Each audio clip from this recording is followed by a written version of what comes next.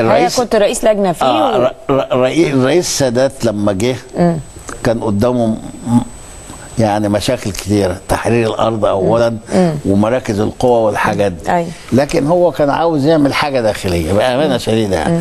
أنا كنت أعرفه من زمان قوي ليه علاقة بيه قوية جدا. من زمان أو يعني من بداية الخمسينات. فهو استدعاني والسادة آخرين. إيه اللي يهم مصر ويعمل؟ هو كان يحب يعمل بإيده كده يعمل ح- حركة كده و...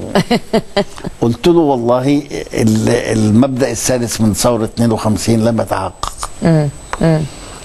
فعاوزين دستور اللي هو الديمقراطية. فنعمل دستور وهو الآخر لأن ظروفنا كانت صعبة قوي. يعني شوف بدأت الثورة بدأ الانقضاض على الثورة بدأ الإخوان المسلمين. ووقعت المنشيه صحيحة. صحيحة 100% أنا بقولها ومسؤول محاولة اغتيال عبد آه. الناصر. 100% ولذلك على اثرها تم حل الجماعة إلى الأبد.